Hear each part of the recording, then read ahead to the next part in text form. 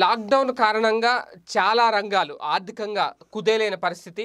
ఇప్పుడు మళ్ళీ అవి కోలుకుంటాయా? ఎప్పటికి కోలుకుంటాయి? అనేది కూడా ఒక క్లారిటీ రాని పరిస్థితి. ఇటువంటి నేపథ్యంలో సూక్ష్మ అలాగే మధ్య తరగతి రంగాలకు సంబంధించిన పరిశ్రమలు ఏవైతే ఉంటాయో వాటికి సంబంధించి ప్రభుత్వం పూర్తిగా చేయూతను అందించాలి అనే ఉద్దేశంతో కొన్ని కీలక నిర్ణయాలు తీసుకుంటుంది. ప్రధానంగా ఆంధ్రప్రదేశ్లో జగన్మోహన్ రెడ్డి గారు ఈ దిశగా ప్రత్యేక నిర్ణయాలు తీసుకోవడం కేవలం ఆరు నెలల్లో మాత్రమే ఈ రంగాలు మళ్ళీ కోలుకుంటాయి అనేలాగా ఒక భరోసా కల్పించడం వాళ్ళకి. ప్రధానంగా మధ్యతరగతి పరిశ్రమలు ఏవైతే ఉన్నాయో మధ్య తరహా పరిశ్రమలు సూక్ష్మ పరిశ్రమలు ఏవైతే ఉన్నాయంటే చిన్న స్మాల్ స్కేల్ ఇండస్ట్రీస్ ఒక రకంగా చెప్పాలంటే. వాటన్నిటికీ కూడా పూర్తిగా చేయూతనిచ్చే దిశగా జగన్మోహన్ రెడ్డి గారి కీలక నిర్ణయం తీసుకుంటున్నారు. ఈ నేపథ్యంలో తొలి విడతగా ఇరవై ఎనిమిది కోట్ల రూపాయలను విడుదల చేయడం జరిగింది.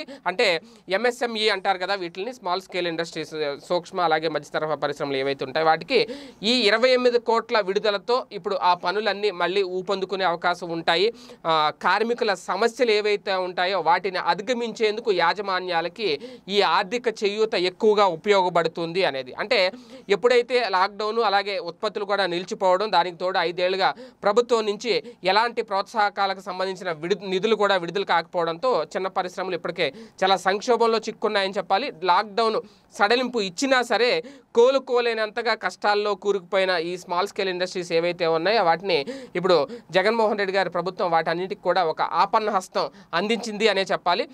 అంటే కంప్లీట్గా క్లోజ్ చేసే పరిస్థితికి వచ్చేసిన పరిశ్రమలు మళ్ళీ రీస్టార్ట్ అయ్యాయి. జగన్మోహన్ రెడ్డి గారు తీసుకున్న నిర్ణయంతో ప్రోత్సాహకాలు అలాగే ఈ రాయితీలతో మళ్ళీ వాటికి పూర్వవైభవం వచ్చే దిశగా సత్ఫలితాలు ఇచ్చే దిశగా అడుగులు వేస్తున్నాయి అనే చెప్పాలి. అయితే ప్రధానంగా కొన్ని కీలక నిర్ణయాలు. అంటే ఆ, పరిశ్రమలను బతికించడానికి ఒక రకంగా కొన్ని సాహసోపేతమైన నిర్ణయాలు తీసుకున్నారు అని చెప్పాలి ముఖ్యమంత్రి జగన్మోహన్ రెడ్డి గారు. పరిశ్రమలకు చేయూతనిచ్చేందుకు ఏ సీఎం తీసుకొని సాహసోపేతమైన నిర్ణయం ఇది?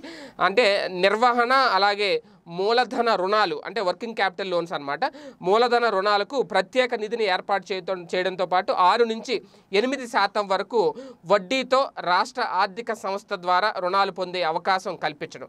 వెబ్సైట్లో సాంకేతిక లోపాల వల్ల ఈ ప్రస్తుతం ఇవి అవ్వట్లేదు. రెండు రోజుల్లో క్లియర్ అవుతాయని కూడా ప్రకటించారు. ఆ తర్వాత నుంచి రీస్టార్ట్ అవుతాయి.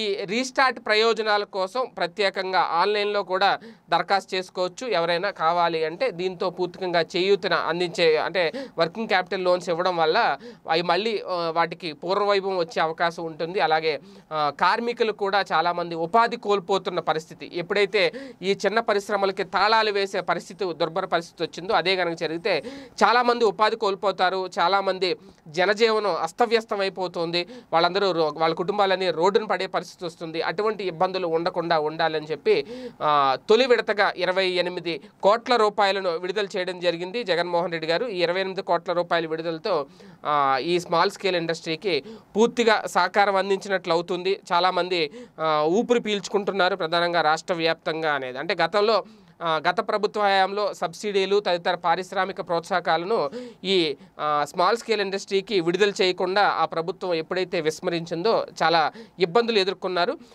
ఇటువంటి దీనికి తోడు ఇప్పుడు లాక్డౌన్ రావడం. ఇటువంటి కష్టకాలంలో ముఖ్యమంత్రి జగన్మోహన్ రెడ్డి గారు ఈ సబ్సిడీ నిధులు ఏవైతే ఉన్నాయో ఆ నిధుల బకాయిలు ఏవైతే ఉన్నాయో వాటిని కూడా విడుదల చేసింది దీంతో జిల్లాల్లోని మొత్తం ఆంధ్రప్రదేశ్లోని పలు జిల్లాల్లోని రెండు వందల డెబ్బై ఆరు అకౌంట్లకు ఇప్పుడు ఇరవై ఎనిమిది కోట్ల రూపాయల వరకు ఈ నెల ఇరవై రెండవ తేదీన ఆల్రెడీ అందడం జరిగింది. అలాగే ఈ జూన్ ఇరవై తొమ్మిదిన ఐదు వందల మూడు అకౌంట్లకు ఇరవై ఐదు పాయింట్ మూడు ఐదు కోట్ల రూపాయలు కూడా అందబోతున్నాయి. లాక్డౌన్ కాలంలో మూడు నెలల విద్యుత్ బిల్లులపై కూడా స్థిర విద్యుత్ ఛార్జీలు మాఫీ చేయడంతో పాటు జిల్లాలో ప్రతి జిల్లాలో కూడా పదివేలకు బైక ఈ స్మాల్ స్కేల్ ఇండస్ట్రీలకు సంబంధించి మేలు జరుగుతుంది అనేది జగన్మోహన్ రెడ్డి గారు తీసుకున్న నిర్ణయం ద్వారా అనేది చాలామంది చెబుతున్నమాట. ఒక రకంగా ఇటువంటి నిర్ణయాలు చాలామందికి మళ్ళీ ఉపాధి కల్పిస్తాయి. తాళాలు వేయాల్సిన పరిస్థితిలో ఉన్న చాలా పరిశ్రమలకు మళ్ళీ జీవం పోసినట్లు అవుతుంది మళ్ళీ పరుగులు పెట్టేందుకు ప్రభుత్వం సాయం అందిస్తుంది అనేది చెప్పాల్సిన అవసరం ఉంది ఇక్కడ. ఈ వీడియో గనక మీకు నచ్చినట్లయితే లైక్ చేయండి షేర్ చేయండి. మరిన్ని వీడియోస్ కోసం మా ఛానల్ను సబ్స్క్రైబ్ చేయండి.